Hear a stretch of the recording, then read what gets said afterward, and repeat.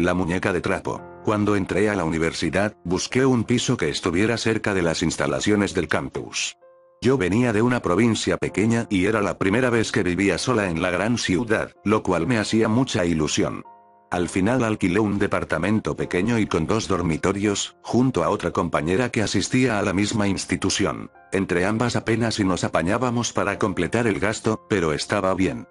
El barrio era tranquilo, la convivencia pacífica y podíamos ir todo el tiempo a fiestas en la zona, ya que era un vecindario para estudiantes. Un día, mi compañera trajo a casa un curioso adorno para decorar. Era una muñequita de trapo vestida de manera anticuada, con falda larga, una blusita blanca y una capa sobre los hombros. Tenía un gorro sobre los cabellos, que me recordó a las mujeres del siglo XIX. Lo más extraño es que su rostro estaba en blanco, no le habían dibujado facciones. Cuando entré a la universidad, busqué un piso que estuviera cerca de las instalaciones del campus. Yo venía de una provincia pequeña y era la primera vez que vivía sola en la gran ciudad, lo cual me hacía mucha ilusión. Al final alquilé un departamento pequeño y con dos dormitorios, junto a otra compañera que asistía a la misma institución. Entre ambas apenas si nos apañábamos para completar el gasto, pero estaba bien. El barrio era tranquilo, la convivencia pacífica y podíamos ir todo el tiempo a fiestas en la zona, ya que era un vecindario para estudiantes. Un día, mi compañera trajo a casa un curioso adorno para decorar. Era una muñequita de trapo vestida de manera anticuada, con falda larga, una blusita blanca y una capa sobre los hombros. Tenía un gorro sobre los cabellos, que me recordó a las mujeres del siglo XIX. Lo más extraño es que su rostro estaba en blanco, no le habían dibujado facciones. Cuando algo se cayó al suelo, esta vez sí que me espanté y salí a ver qué pasaba. Las cosas de la estantería se habían caído y encima de ellas se encontraba esa maldita muñeca. Mosqueada, recogí todo y a ella la dejé boca abajo. Me metí de nuevo a la habitación y pensé en tomar una siesta. Mis párpados se cerraban y era más de medianoche. Al poco rato de acostarme, escuché que la puerta se abría y lo primero que pensé fue que mi compañera había regresado. No oí sus pasos pero sí sentí que un lado del colchón se hundía, mientras algo se acercaba hacia mí. Algo pequeño y ligero. Cuando abrí los ojos, la muñeca estaba delante de mí y tenía la más horrible expresión dibujada en su rostro. Un rostro tan horrible, que me estremezco de solo recordarlo y que en ese instante me quiso hacer gritar. Pero yo no podía moverme. Todo el cuerpo se me había paralizado y mientras esa muñeca maligna me miraba, escuché una risita aguda que me puso todos los pelos de punta. Parecía que estaba viviendo un cuento de terror.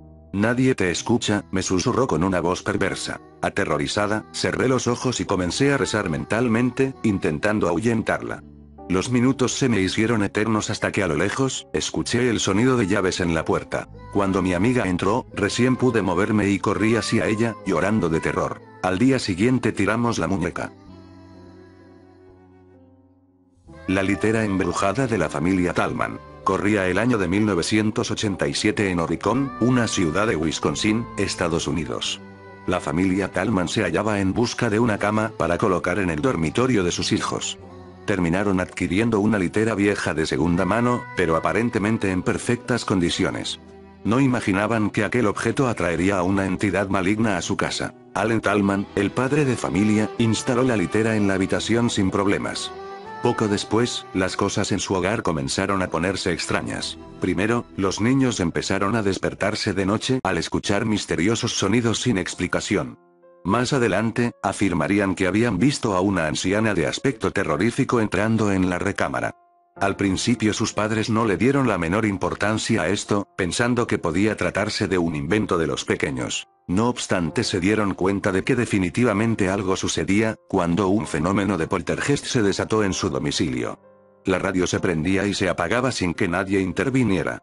Las sillas y otros muebles eran arrastrados en la noche, las cosas se caían sin más y por si esto fuera poco, los ruidos extraños se extendieron a las otras estancias. El problema alcanzó tal magnitud que pronto, los Talman accedieron a llamar a un pastor para bendecir la casa, lamentablemente en vano. Pareciera como si la visita del religioso, lejos de calmar a la presencia que había poseído su hogar, hubiera intensificado su furia. Un día, Allen escuchó con claridad una voz que provenía del garaje y pronunciaba a frase, ven aquí. Cansado de lidiar con todo aquello, el hombre echó un vistazo. Allí, se encontró con una figura en las sombras que le dijo, estás muerto. Fue la gota que colmó el vaso. Allen y su familia se marcharon a toda prisa de su domicilio, antes de que acabara el invierno. Habían adoptado la costumbre de dormir todos en la misma habitación, por el miedo a los sucesos paranormales que ocurrían.